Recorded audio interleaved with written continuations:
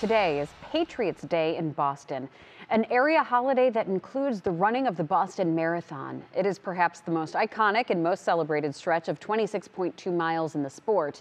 And this year, there's an even bigger focus on the race. 10 years after the bombing near the finish line that killed three people and wounded hundreds. NBC's Jay Gray introduces us to a runner who was there and is back to run for the first time since the attack.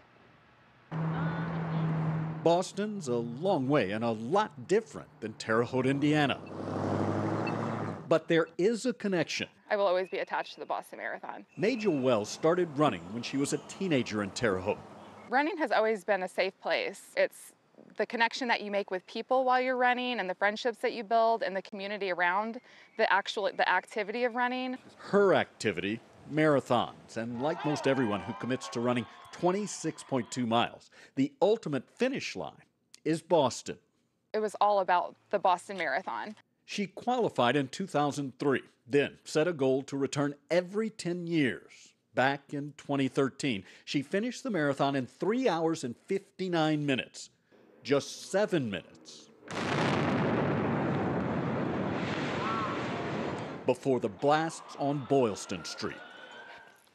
This is really hard.